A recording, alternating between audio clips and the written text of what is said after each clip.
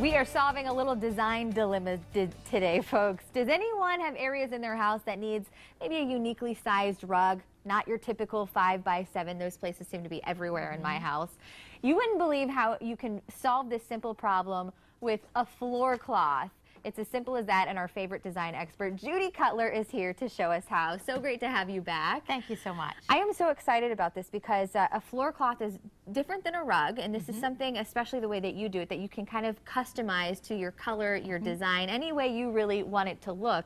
You can do that yourself. You can, and the interesting thing is that this actually came came about from the early 1700s. Ooh. And wives of sailors used to use the old sailcloth. Huh to make floor rugs. Oh, interesting. Well, so. here's a few examples right here of different floor cloths. And what are some areas, Judy, that maybe you can, you know, spice up a room with a floor cloth? Are we talking anywhere in the house? Inside and outside. They're great for back patios, and I'm going to show you how to seal your floor cloth so that it becomes waterproof and you can just sweep it off. Fabulous. Um, stairs doing a runner uh -huh. down oh, your stairs, the runners. The fabric actually comes 60 inches wide, and you can make so it however a good size yeah. of it. So what do we need to do first? This here, uh, you you pretty much kind of have a little pre-made for us, and we're going to go through the steps here right. in a second. But this is actually canvas right this, here, right? This is canvas.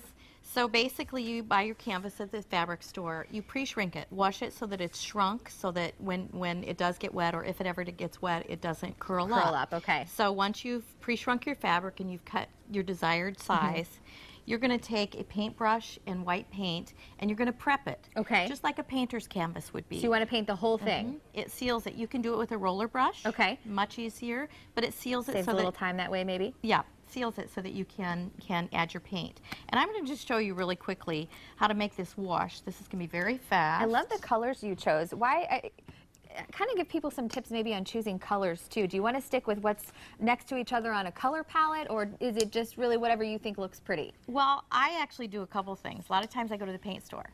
So you've got your color Great palettes idea. are yeah, already picked out for you. There. So it gives you an idea. You're not starting from scratch. Um, but the other thing is I usually do it around rooms that I'm trying to blend color in, mm -hmm. that I'm having a hard time um, getting colors for. So anyway, to make a wash, basically you're going to dump a little water on your tray.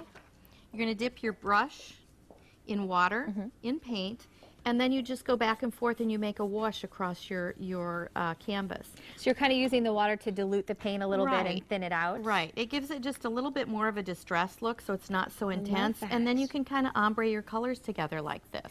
You know that distressed look, that ombre look is so trendy right now. People really seem to love that. So it's it really cool that you can just go to the paint store, pick out a few colors, and like you showed us here, do it yourself. Right. So you you've prepped it, you've got the color down. Now you're going to basically do what you just did here across the whole thing across the whole thing. But before I start, usually what I do is I actually do a tester. Smart. On a small piece like we're doing here mm -hmm. so that you kind of know that that's what you really want to mm -hmm. do because once you start applying, applying paint, yeah, you're you're you're done. You're committed.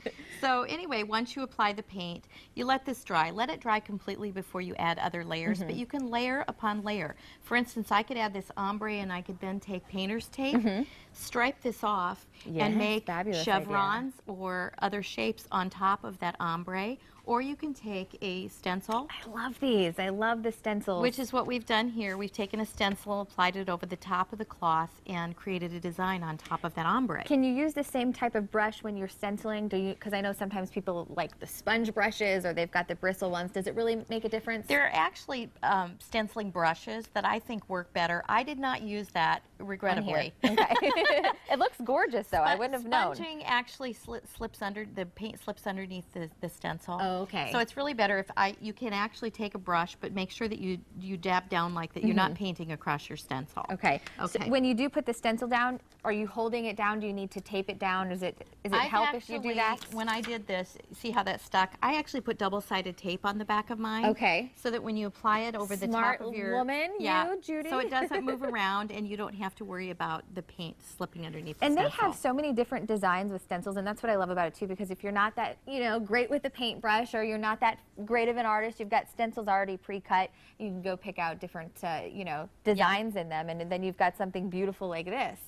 And the last step is to um, make your floor cloth waterproof. And this is with some simple things from home, mm -hmm. you mm-hmm. can do this. I've chosen, there's beeswax, hmm. candle wax, and walnut oil. Wax. Walnut oil. Okay. And you actually mix these things together It's two parts mm -hmm. of both of the waxes to one part oil. You can use olive mm. oil, you can oh, use oh, Wesson oil, whatever you've got at home. Put this in the microwave and you actually paint this right over the top of your, your cloth and it seals it and it makes it waterproof. So this is, yeah, was, like you just said, a sealant on it. So you put that in the microwave. I never would have put, I never would have guessed, Judy. So that's why she's here to show us the right way how to do things.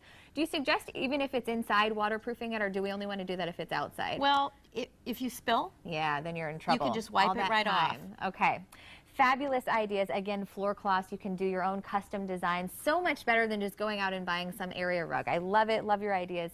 Thank you so much, Judy. Always You're great welcome. to see you. Do you have a decorating on a dime idea? Let us know. You can post to our Morning Blend Facebook page or send us an email at fox4morningblend.com.